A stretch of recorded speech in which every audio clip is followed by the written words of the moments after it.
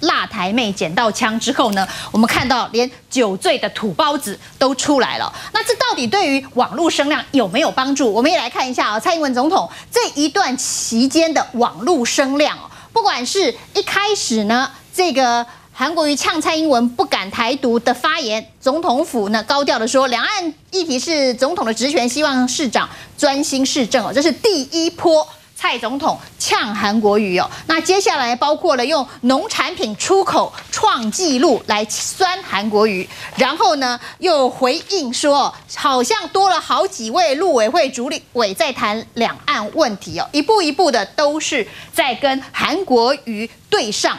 那另外呢，是公布了自己去水准书店买书的这个影片，这也让大家想到了当时马英九去一个书店打工的画面，有那么一点点神似啊。那另外呢，包括了上海台办主任李文辉来台湾的时候呢，他不让他到高雄去，就说不能让他们大摇大摆全台走透透。然后在韩国瑜直播再拼两岸再批两岸论述的时候呢，回应的是酒后直播不是好点子，虽然韩国瑜是喝醉的土包子哦。那这些操作对于网络声量有没有影响？我们来看一下蔡英文从二月十二号、二月十三、十四、十五、十六，就是这个今年开工以来的网络上面声量，基本上就叫做 一直线。为什么这么多的操作？都是一直线，这是怎么回事哦？那韩国瑜倒是不断的在他的大概多他好几倍的这个上面，当然有一些起伏，也是很高的一直线，两条平行线，怎么办？那，那个秀，我们看一个呃政治人物的声望，不是只从网络上看呐，不是其中一个面相。对对，那只是一个面相吼。那像费文意思说，哎，我们民进党哎要拉抬韩国瑜的声量去压抑柯文哲，其实。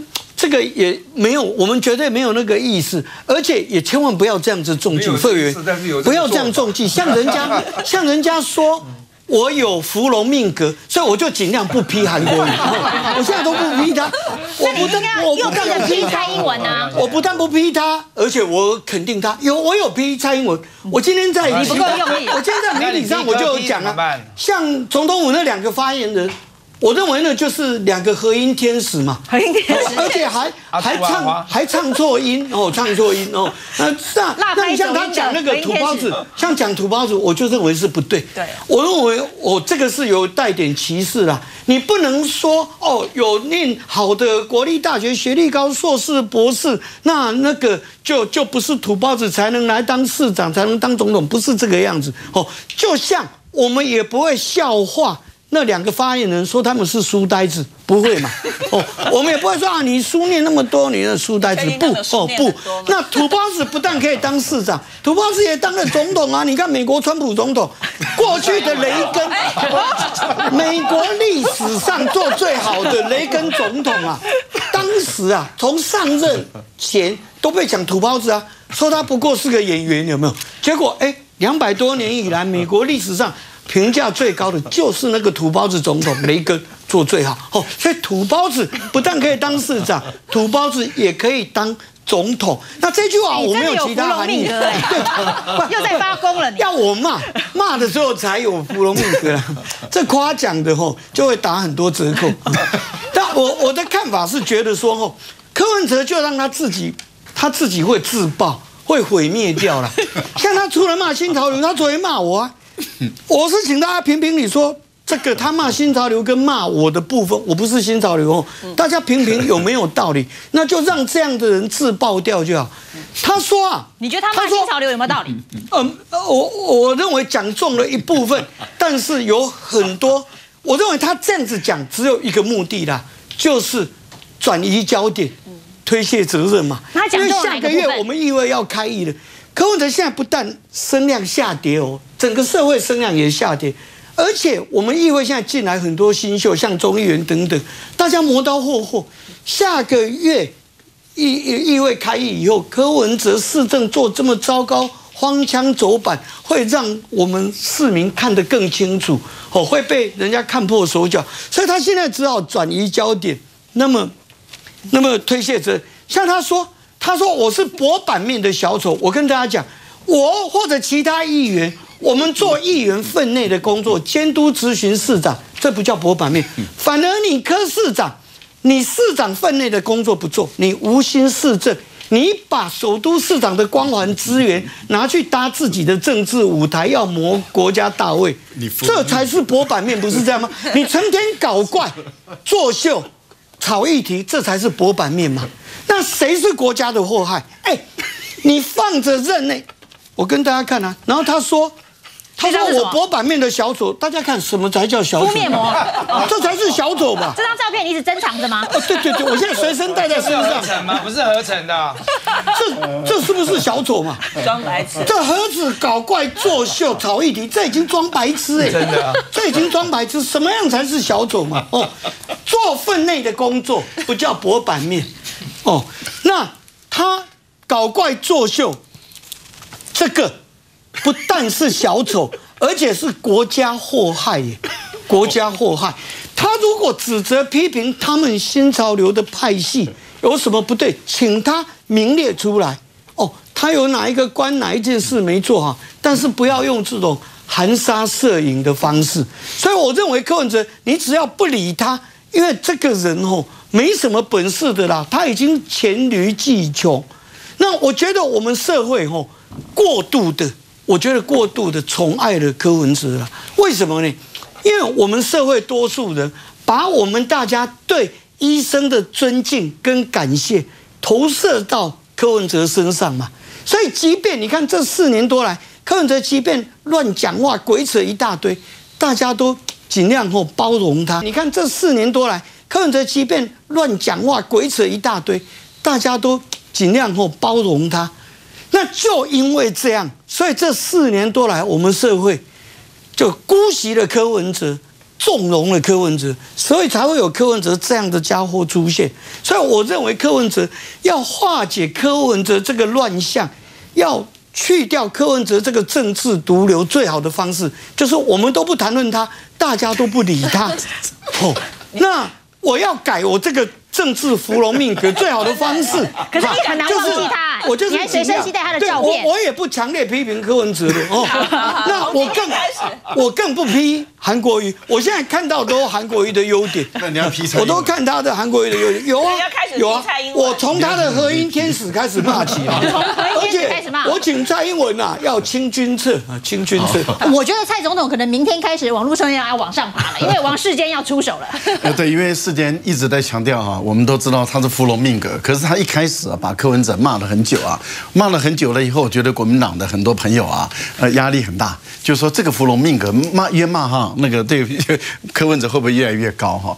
那世间又说啊，他不会再骂柯文哲，可是我觉得刚刚五分钟都在骂柯文哲，他很难忍住了，很难忍住，开始还不适应。对，那他现在不骂柯文哲，都带来了，对，也呃不不 不骂柯文哲，然后也不骂韩国瑜了，他从今天开始要开始骂。蔡英文不能从他的合一天天使哦，要骂蔡英文本人，因为越骂的话，蔡英文才会越旺啊。这一点我们也期待蔡英文，呃，期待世间啊，每一次来我们节目的时候，就花五分钟的时间骂蔡英文，数落蔡英文哪里的不对。我们很想要知道蔡英文在民进党的眼中哪一些地方做不好，这样的情况把它扶龙上去啊。另外一个部分，我觉得其实声量还是很重要。声量当然，我们有正面声量，有负面声量。可是声声量它是一个关注度，也就是说，哎，我们知不知道这个人？我觉得这个是一个关注度，或者我们知道这个事情啊，跟他有没有关？因为我从一九九零年代开始哈，网络进入台湾。五十岁以下的台湾的民众啊，五十岁以下的哦，几乎都是网络时代成长的这个民众，他们的阅读习惯跟五十岁以上人的阅读习惯不太一样。他们比较多的大部分的讯息都是从网络里面来，大部分的讯息，所以大部分的讯息都从网络里面来的时候，他的声量一直进来，他有兴趣去看。他有兴趣去看，这点就很重要。他有兴趣去看，他才会知道那件事；他没有兴趣去看，他就不会知道那件事，也就不会知道那个人。所以呢，网络声量其实是有影响力的。好，那但是我们还是要更细分的，就是说，网络声量带来的是正面声量还是负面声量？我觉得这一点会影响。为什么？因为我们传统的那个投票行为已经被改变了。传统的投票行为里面呢，我们通常都是会从个人的证件里面来说，哎呀，你的多少证件，然后我们会去注意到像度跟亮跟就是像度跟亮度，就是强度的一个问题。但是我们就发觉，现在在网络时代啊，我们一般的年轻人，他们通常。阅读的习惯不会阅读很长的文章，而且也不会阅读文字很艰深的文章。这样的情形下的时候，他要速快速决，因为他的讯息量太大。讯息量太大的时候，他要读得很快，而且要看得很。很多时候就是看一下标题，然后就不看了啊，就是他知道这件事就过去了。所以最终影响他的是什么？他的印象、刻板印象。他对这个人印象好，或是刻这个人印象不好。目前来讲，科那个韩韩国语的印象很好。啊，韩国瑜的声量也很高。然后其次，我们刚刚刚看到了，就是这个龙介啊，龙介目前的声量很高，那么他的印象也很好。我觉得这个对于他们的政治的发展都很有帮助。问题是在于他们两位有没有要选二零二零年的总统？没有。问一些龙介吗？龙介没有嘛？龙介龙介现在就是要把立委拼下来嘛。那韩国瑜目前来讲没有松口。那当然有几个条件，第一个就是如果国民党要征召他，这是一个条件；另外一个就是高雄人咽不口咽不下这口气了。高雄人觉得你这个民进党到了这个呃输了以后，就这样对付我高雄人，我高雄人看不下去了。我要我韩国瑜出来当中华民国总统，为我们高雄人出一口气。那这样的话，韩国瑜也有可能会出来，因为高雄人让他出来了嘛，所以韩国瑜就没有办法。因为高雄让他出来，所以他代表国民党出来出征，这样的情况才会对于这个柯文哲会产生威慑力。但是如果不是这样的话，以目前国民党的这些太阳的，还有民进党的蔡英文。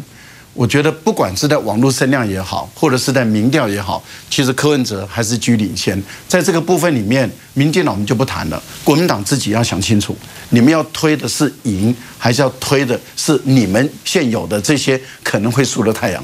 柯文哲他最近爆出口，而且爆出口对象是一个女性议员，这件事情到目前为止他都不道歉。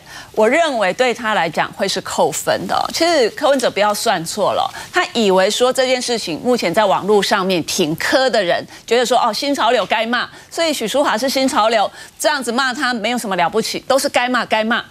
但是我只能说网络上它反映的只是一部分的舆论哦。这件事情如果你去问问一般的社会大众，一个台北市的市长。针对一个台北市的女性市议员监督她的市政预算，然后就这样子爆出口，爆出口完之后，过去的柯文哲他好歹还会出来说声道歉哦，结果他现在可好了，他连道歉这两个字都不必耶。到目前为止，我们没有听到道歉。人家问他说要不要道歉，他说再说。